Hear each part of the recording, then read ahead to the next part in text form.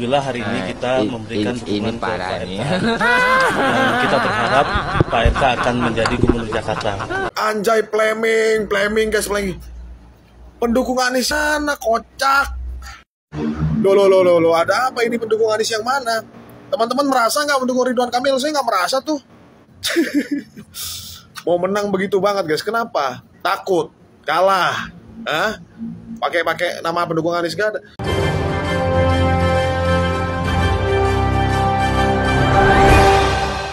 Assalamualaikum warahmatullahi wabarakatuh.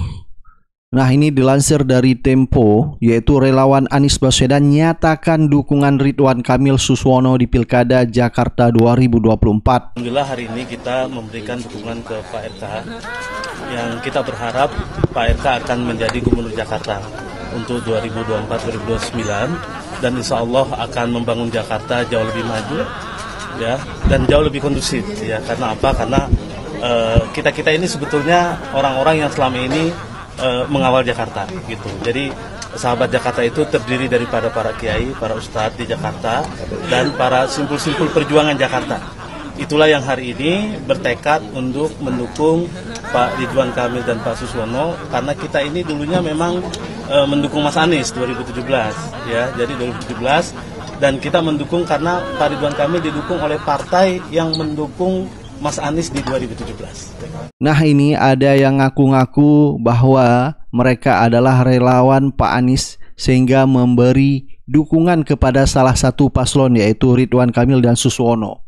Nah sampai akhirnya ya pendukung Pak Anies Baswedan garis keras ya atau anak abah akhirnya buka suara dengan mengatakan jangan-jangan ini adalah ngaku-ngaku saja Jangan-jangan ini adalah disetting supaya untuk menggiring opini pendukung abah lainnya yaitu untuk mendukung salah satu paslon yaitu Ridwan Kamil. Sedangkan pendukung Pak Anies ataupun anak abah sudah satu suara dan berkomitmen untuk mendukung semua paslon di Pilkada Jakarta. Ya, jadi tidak ada mendukung salah satu paslon. Jadi anak abah sudah komitmen mendukung semua paslon dengan nanti mencoblos semuanya. Jadi biar adil. Jadi tidak ada anak abah hanya mendukung salah satu paslon. Anjay Fleming, Fleming guys Fleming. Pendukung Anies sana kocak. Loh, loh, loh, loh, ada apa ini pendukung Anies yang mana? Teman-teman merasa nggak mendukung Ridwan Kamil? Saya nggak merasa tuh. Ya kan? Ini pendukung Anies dari mana loh? Bahaya loh. Mengatasnamakan pendukung Anies loh. Framing ini loh guys. Hah? Dari mana? Dari mana itu? Dari mana? Ya, kalau mau kalau mau ini yang bener lah, jangan begitulah. Gak ada, gak ada cerita, gak ada cerita. Ya, dukung Anies, dukung RK. mau menang begitu banget guys. Kenapa? Takut kalah. Hah? Pakai-pakai nama pendukung Anies gak ada. Dukung RK ya dukung RK aja. Mana ada saya pendukung Anies dukung RK nggak ada tuh. Ya, pendukung Anies tuh cuma bukan bukan cuma satu orang doang. Jangan-jangan siapa yang bisa pastikan orang itu adalah pendukung Anies? Kan aneh ini bos. Ya, aneh ini, ini, ini, ini, ini, ini. Aneh bin ajaib. Gak ada, gak ada pendukung Anies tidak akan mendukung RK. Kebanyakan, ya. Benar-benar tidak tahu malu dan harga dirinya entah di mana. Ada wacana Ridwan Kamil dan Suswono yang dari PKS itu mau menemui Anies Baswedan. Kemudian ada pula yang mengaku-ngaku sebagai pendukung Anies Baswedan mendukung Ridwan Kamil. Saya curiga itu disetting, ya. Yang pertama begini, ya. Kamu nggak melihat bahwa kamu itu sudah bergerombol 15 15 partai kalau nggak salah di situ ngapain lagi? Hah? Terus kemudian untuk apa mengambil suara Anies? Kamu tinggal kampanye saja, programmu apa di Jakarta, kamu mau bangun apa di Jakarta sehingga rakyat percaya lalu rakyat pilih kamu kan begitu aja. Ngapain? Ya kan? Makanya ya kamu mengakui bahwa Anies ini punya pengaruh kan? Ah, ini pelajaran guys buat semuanya ya. Termasuk kemarin yang sudah cawe-cawe itu. Saya tahu orangnya itu. Saya tunjuk dia nih, saya tunjuk tuh orangnya tuh yang cawe-cawe. Ya, hormati negara ini. Hormati keadilan. Ya. Jangan kau injak-injak yang namanya keadilan. Ya, jangan kau rekayasa semua segala sesuatunya. Ya, berkompetisilah secara fair dan adil dan jurdil. Ya, sesuai dengan aspirasi masyarakat. Kan bingung sendiri Anda bekerja tidak sesuai dengan aspirasi masyarakat kan? Bingung kan? Ya. Jadi negara ini tidak akan pernah maju, guys. Ya, kalau semuanya disetting-setting, diatur-atur, tidak akan pernah nikmat itu kompetisi, tidak akan pernah maju ini negara. Ya, apalagi ya. Ya. Jadi hormati aspirasi rakyat. Itu aja sih. Eh, ada yang main sinetron nih. Katanya pendukung Anis dulu, sekarang dukung RK dan Risono. Aduh, masih aja memainkan politik sinetron Indosiar. Wih, 12 partai masih kurang. Hah? Cara kayak begini dimainkan. Kalaupun itu benar, ya enggak? Kalaupun nih itu benar, ya paling cuma 0, ya enggak? Sisanya di garis lurus colok. Eh. Oke. aduh, aduh. Partai doang gemuk lu pada koalisi. Kepercayaan diri lu kurang, nggak pede ya. Udah ah, gua mau tidur lagi. Nah, kalau ada anak abah yang ngaku-ngaku relawan Pak Anies, itu hanya relawan di saat Pilpres kemarin ya. Jadi sekarang tidak ada lagi relawan Pak Anies ya yang menyatakan dukungannya di Pilkada DKI Jakarta. Ini juga dibuktikan oleh pernyataan Bang Refli Harun di saat mengkonfirmasi langsung ke juru bicara Pak Anies yang bernama Kies Khalifah. Itu adalah bersifat dukungan pribadi. Tetapi jalan yang kita sepakati adalah bahwa sampai hari ini terkonfirmasi belum ada sikap dari Anies Baswedan sendiri. Anies belum menyatakan sikap apa pun uh, untuk mendukung atau tidak mendukung itu satu. Yang kedua, kalau ada di antara ex relawan atau ex pendukung di Pilpres kemarin yang sudah menyatakan sikap, maka itu kita sepakati sebagai sebuah sikap pribadi yang tidak boleh membawa-bawa nama Anies Baswedan. Itu itu yang bisa saya catat. Sehingga benar-benar memang harus mencari suara anak abah ya. Jadi memang suara anak abah ini cukup berpengaruh bagi mereka ya. Jadi selama ini kita tahu bahwa anak abah ya atau pendukung Pak Anies tetap berkomitmen coblos semua supaya adil katanya ya. Ini adalah bentuk hukuman sosial bagi mereka ya yang jelas-jelas telah membegal demokrasi, yang jelas-jelas telah menjegal Pak Anies ya untuk maju di Pilkada Jakarta. Nah ini kalau kita lihat ya komentar di sosial media dari pendukung Abah atau pendukung Pak Anies. Mereka menulis komentar pendukung Anies dari mana? Anak Abah yang mana ngaku-ngaku? Gua anak Abah gua nggak dukung tiga-tiganya biar adil coblos tiga-tiganya. Terus ada komentar juga ini pendukung Anies yang mana nih? Anak Abah tetap ab Anak Abah tetap Abah nggak ada yang lain titik. Pendukung Pak Anies yang mana? Jadi mempertanyakan ini ya. Coblos semua tidak yakin dengan omonganmu ya yakin bukan pendukung Abah. Yang mana anak Abah bisa ngomong yang mana anak Abah bisa-bisa ngomong anak Abah pilih Ridwan Kamil gua anak Abah nih coblos tiga-tiganya. Jadi mereka ini sudah satu suara bahwa coblos tiga-tiganya ya. Jadi ini anak Abah yang mengklaim dirinya yaitu relawan Pak Anies ya. Ini adalah ex relawan Pak Anies di Pilpres kemarin ya. Nah, juga ini ada komentar 12 partai aja belum cukup. Jadi kalau kita lihat memang Ridwan Kamil sangat ketar-ketir dan khawatir jika dirinya tidak mendapat dukungan penuh dari anak abah. Dan untuk mengkonfirmasi apa yang saya katakan, saya ingin bertanya kepada Bang Giz Khalifah. Bang Giz, Siap. komentari uh, satu soal beredarnya foto-foto ex relawan Anies Baswedan. Saya bilang ex relawan ya, Ya. uh, mendukung uh, paslon A, paslon B, ya Mhm. dalam dua hari ini. Yang kedua kesepakatan yang kita bilang tadi. Silakan. Dan tambahan lain uh, terka- uh, terkait Anies Baswedan dan Pilkada DKI. Ya, yang pertama saya mengomentari tentang ber- di berita di media ya. Tentang berita yang mengatasnamakan relawan Anies mendukung seorang paslon. Hmm. Saya ingin katakan orang-orang seperti itu adalah tidak punya harga diri, Hmm. menjual nama relawan untuk mengangkat nilainya dia. Hmm. karena dia tidak punya hak sedikit pun untuk mengatasnamakan relawan karena relawan Anies Boy itu banyak sekali Ya. jadi eh, setiap orang yang menjadi relawan Anies tidak bisa diwakili oleh satu orang gitu. Ya.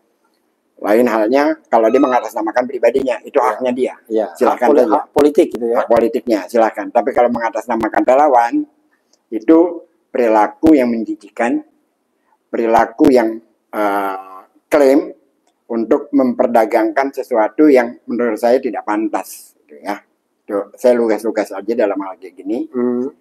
dan kalau dalam konteks pilihan pribadi saya saya tidak akan memilih satu pasang calon pun di antara tiga ini melainkan saya akan memilih tiga-tiganya karena sebagai warga Jakarta Memilih yang tiga-tiganya itu artinya gercos. ya semua. sebagai warga Jakarta yang aspirasi saya telah dibegal, lalu saya memilih untuk para pembegal itu, rasa-rasanya itu eh, orang seperti itu bagi saya ya, itu tidak punya nilai. Gitu. Jadi saya tegas saja positioning saya dalam konteks pilkada sekarang ini, karena yang terjadi adalah sebuah operasi jahat, maka saya tidak punya toleransi terhadap uh, proses pilkada yang terjadi sekarang. Bahkan saya berharap Mahkamah Konstitusi sedang ada judicial review yang menginginkan adanya kota kosong. Nah, Hmm. Semoga saja itu dikabulkan oleh Mungkin MK, kolom kosong tepatnya ya. kolom kosong, Ya. dan apabila itu dikabulkan oleh MK, maka itu menjadi pilihan yang konstitusional. Yang kedua, saya harapkan bahwa KPU tidak perlu mengancam-ngancam orang Hmm. karena itu norak. KPU itu kemarin saja perilaku mereka itu udah kagak beres gitu. Iya. sampai ketuanya dipecat. Hmm. Internal beresin aja internalnya dulu gitu. Jangan menghakimi kita sebagai warga Hmm. yang punya hak untuk memilih maupun untuk tidak memilih. Hmm. Jadi hindari kalimat-kalimat ancaman seperti itu karena itu tidak mendewasakan publik. Sementara mereka sendiri juga tahu proses politik yang sekarang ini kan tidak benar. Hmm. Ngapain kita dihakimi? Hmm. Kan apa yang terjadi sekarang, terutama orang-orang seperti saya, bukan aksi, melainkan reaksi Ya. terhadap aksi yang dilakukan oleh partai yang membegal aspirasi. Kan gitu. Jadi bagi saya sementara ini posisi saya itu dulu. Lalu apa pun nanti sikap Anies kita tunggu. Oke. Akan tetapi secara pribadi saya mengharamkan orang-orang yang mengambil nah apa kebijakan mengatasnamakan relawan. Oke. Buat saya itu haram itu najis. Oke. Itu itu nggak nggak baik gitu. Oke. Jadi kalau mau mendukung seorang paslon, silahkan membawa nama pribadinya. Hmm. Silahkan aja, nggak problem gitu. Tapi kalau mengatasnamakan relawan ini mendukung Anies mendukung ini, siapa lu? Hmm. Gua kenal juga nggak mal, Hmm. nggak nggak penting gitu. Jadi ya, ya udahlah, berhentilah menjadi pelacur. Gentle lah. Jadikan diri Anda untuk maju ke depan, mendukung siapa-siapa, silahkan. Tapi jangan memperdagangkan. Hmm. Karena yang dia dagang, yang mereka dagangkan itu adalah membawa diri kita yang ada di sana. Hmm. Kira itu. Oke, eh, saya tidak eh, menanya lebih lanjut ya, karena saya ingin eh, beralih langsung ke Mr. Teligan. Bang Ramadan tuh mohon dulu. Nah, Bang Teligan. Ya, itu. Ah, agak agak dekat. Nah, Teligan, kau dekat. Ah. Coba silakan. Sama pertanyaan dengan Ges Halif kepada Ges Halifah tadi, tapi tolong ke- lihat ke kamera ya. Yaitu eh, apa tanggapan satu dua hari ini yang viral ya ada ex relawan atau relawan lah kita bisa mengatakan demikian yang melipir ke satu eh, dua calon atau paslon A paslon B dan eh, bagaimana tentang apa yang saya katakan tadi tentang kesepakatan bahwa kalau ada yang ber, ber- apa, melipir ke mana-mana ya itu silakan bawa nama pribadi jangan bawa nama Anies karena Anies sampai saat ini belum memberikan statement apa pun soal dukungan atau tidak mendukung silakan Ya, terima kasih Bang Refli. Jadi memang pertama yang saya sampaikan memang ini adalah di persimpangan jalan. Hmm. Persimpangan jalan ketika kita sudah menjadi militansi Anies, mendukung Pak Anies selama saya pribadi sudah tiga tahun. Hmm. Ya, waktu, pikiran, dana semuanya sudah kita keluarkan dan memang pada saat ini kita sudah pada saat yang tidak ada lagi Pak Anies yang kita pilih. Hmm. Ya kalau tadi ada Pak Anies pasti semuanya bersatu ke sana. Hmm. Di dalam relawan ini memang ada dua tipikal. Suaranya agak gede. Tipikal militansi yang termasuk Bang Gies dan juga Bang Refli termasuk militansi di mana tetap merasa bahwa harus karena dua calon itu adalah buruk secara proses dan itu juga harus kita hargai. Tetapi di satu sisi memang saya yang, yang hidup di partai politik selama 32 tahun melihatnya lebih realistis. Hmm. Realistis bahwa mana yang eh, terbaik untuk Pak Anies 2029. Hmm. Juga ini tidak mudah, belum tak pasti juga. Tetapi eh, secara bayangan saja bahwa kita harus menghalangi orang yang yang akan menghambat Pak Anies ke depannya. Hmm. Itu secara realistisnya. Makanya mungkin nanti ada perbedaan sikap juga. Tapi saya juga pasti menunggu eh, arahan dari Pak Anies sebelum saya memutuskan. Nah, bagaimana juga eh, kita sudah memperjuangkan dan berpikir Pak Anies itu adalah orang yang paling ideal di dalam perjuangan ini. Jadi itu yang ingin saya sampaikan Bang Refli, memang di relawan sendiri, di grup relawan sendiri yang ada 450 orang di dalamnya, juga mengalami yang sama. Tetapi tadi memang sepakat semua bahwa kita itu semuanya tidak ke RK, Ridwan Kamil. Karena Ya, pertemuan tadi ya. Pertemuan tadi. Pertemuan tadi. ya yang ada. Gitu. Tetapi kalau untuk Pramono ini ada pecah suara. Hmm. ya tadi kita ada tiga tiga ada yang memang moralis itu tetap eh, gar- garcos itu juga tidak bisa disalahkan karena memang itu kenyataannya Hmm. dan itu juga tidak bisa kita lawan kayak Bang Hmm. Ges ya saya paham betul saya berhubungan dengan Bang Ges lama Hmm. ya ber- udah berapa bulan berapa tahun saya tahu sifatnya saya tahu bagaimana keteguhan nantinya juga nggak salah. Karena memang itu adalah pilihan. Hmm. begitu. Saya juga dan uh, Laude dan ada beberapa teman tadi saya nggak sebut namanya karena uh, tetapi juga harus kita hargai juga karena mungkin mereka juga punya pandangan ke depan Hmm. secara strategis ya. Tetapi itu pun juga kita tadi sepakat lebih baik menunggu arahan dari Pak Anies Hmm. kita tadi enam orang menunggu lima satu memang mengatakan dia sudah memutuskan tidak salah juga karena itu Hmm. adalah seperti yang disampaikan oleh Pak Anies relawan itu adalah otonom Hmm. bisa memutuskan ke mana pun karena dia dipanggil tanpa bayaran kan begitu Hmm. dan memperjuangkannya pun tanpa pamrih nah oleh karena itu kita harus menghargai tetapi yang paling penting semoga dalam waktu dekat Pak Anies eh, memberikan arahan-arahan lebih tepat supaya kegalauan ini ini terjadi karena memang pasti ada sesuatu. Ada kemarin yang relawan yang pindah ke RK Hmm. sehingga kita melihat ada sesuatu yang harus dilawan Hmm. karena ini membahayakan karena merasa bahwa Kim dan juga PKS itu menyakiti hati relawan Hmm. ya itu. Tetapi eh, sehingga terjadi eh, ada namanya perlawanan. Hmm. Perlawanan itu juga dilakukan oleh Bang Laode dengan ketemu dengan eh, ini, ketemu dengan Pramono dan juga eh, Hasto kan begitu yang beredar di video. Dan itu juga kita harus hargain walaupun itu tidak mudah. Karena berpindah dari hati ke hati yang lain itu pasti ya sangat berat lah.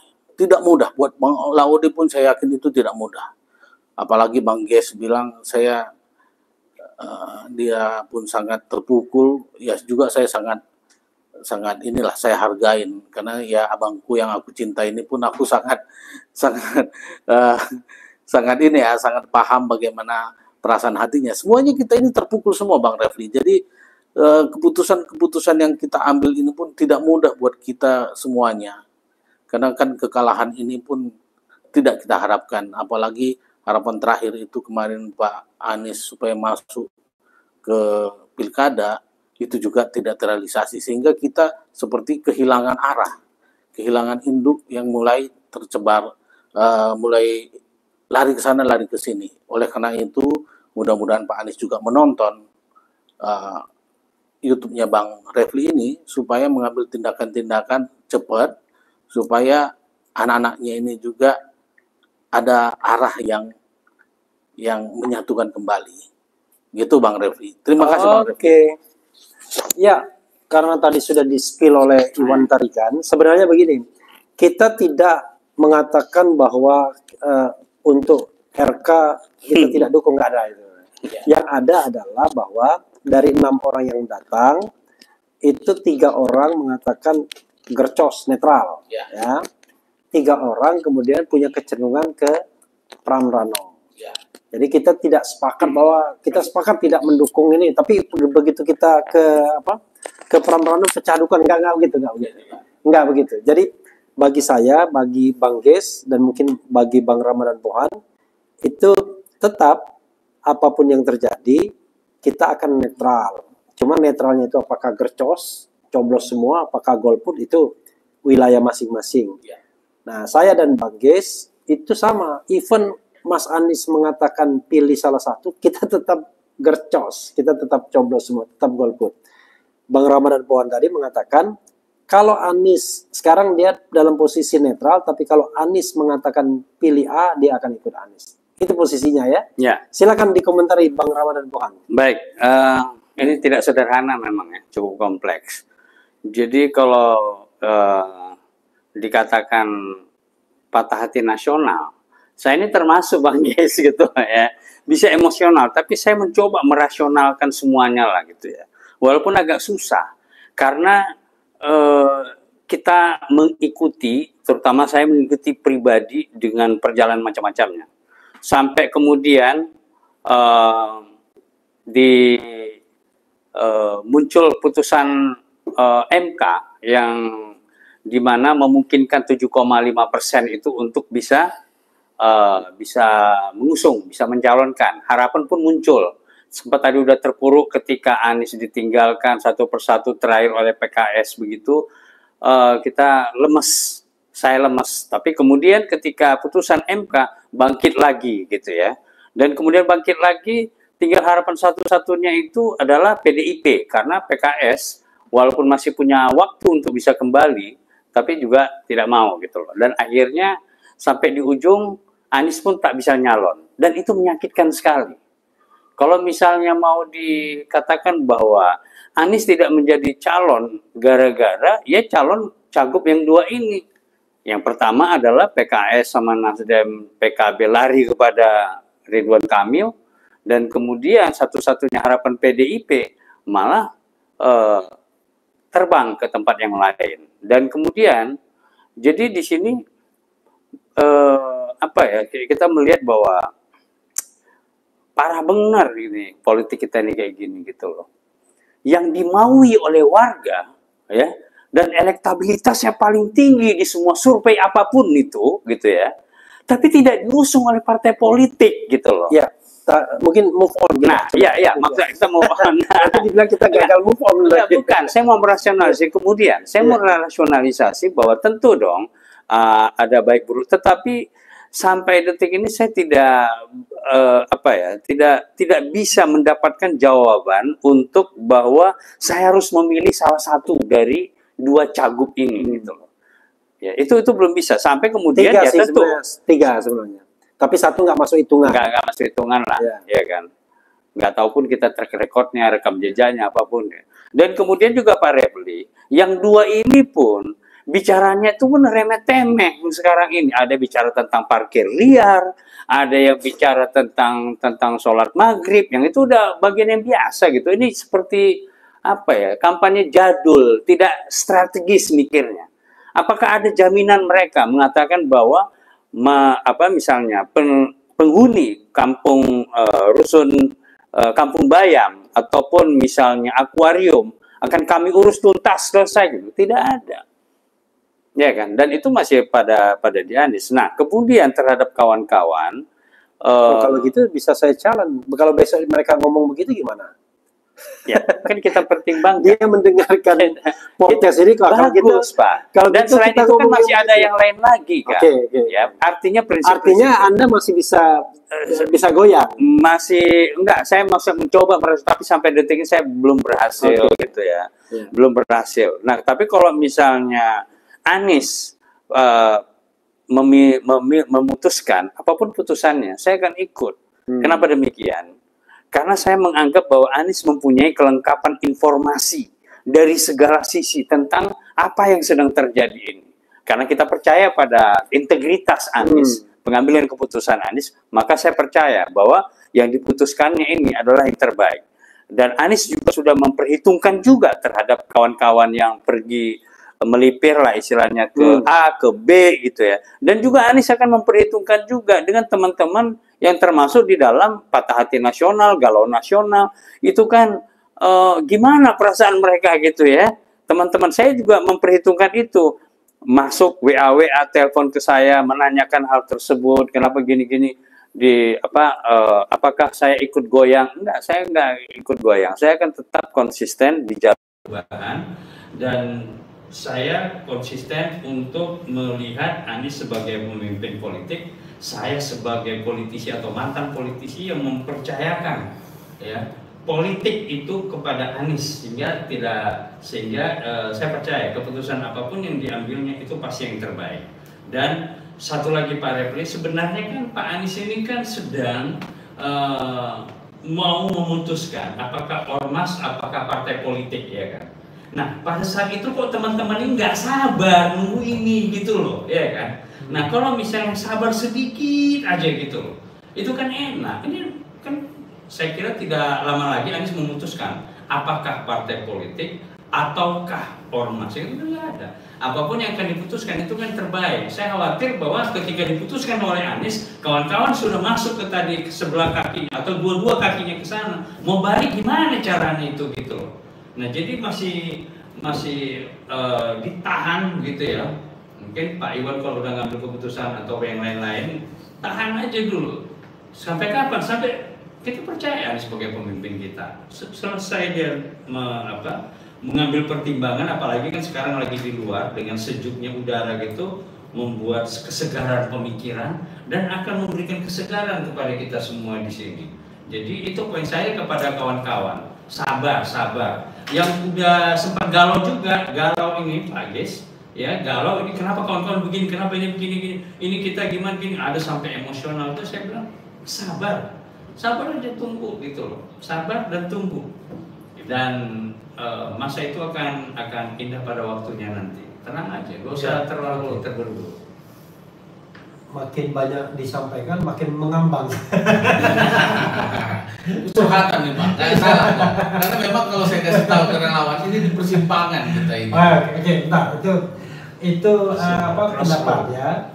Eh, saya kan pe- pengen kita punya ya, standing dulu kan. Hmm. Jadi udah udah jelas standingnya ya. Saya sebagai fasilitator. Hmm. Silakan. Ada yang ingin menambahkan? Silakan ambil ini. ada yang ingin menambahkan? Poin dari yang tadi juga. Oh bukan. Apa pun yang ingin ditambahkan silakan ambil ini. Hmm. Ada yang mau ditambahkan? Ya, Oke, Bang silakan. Yes. kepada teman-teman relawan semua uh, baik yang sudah agak bermasalah.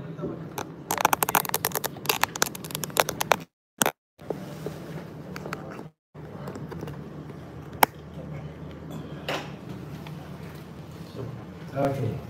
Oke.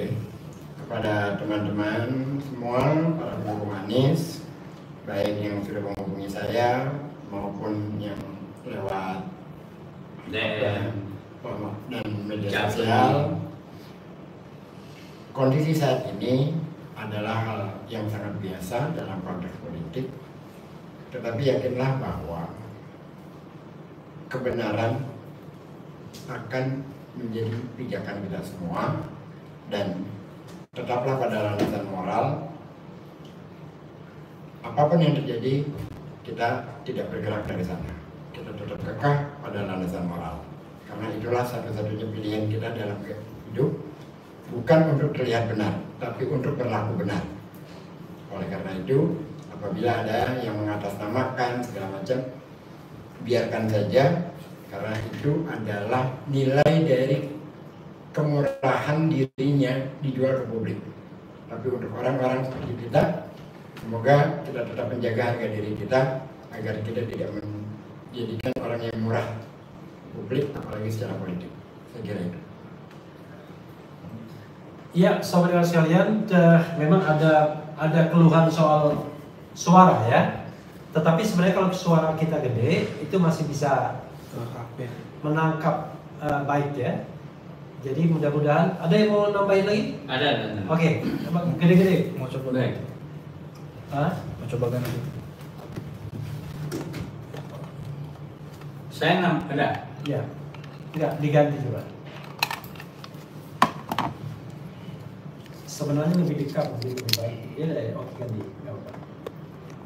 Kalau perlu volume suara gue kencangkan. Oh, I Bisa juga, see. Volumenya itu digedein, volume HP-nya. Ya, volume di sini juga bisa digedein. Volume HP-nya digedein, bro. Udah. Sudah. Pilih yang mudaratnya baik itu jangan melakukan saya Ininya di sini.